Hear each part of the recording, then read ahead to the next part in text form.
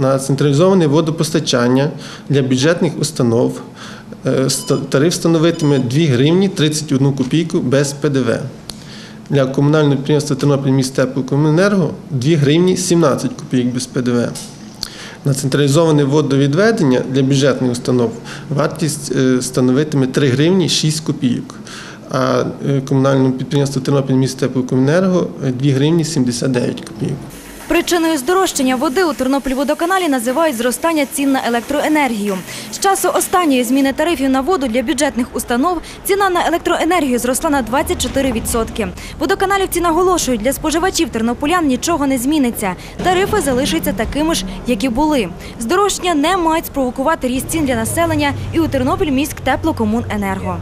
Це тарифи для е, вартість послуг, які вони використовують для своїх потреб.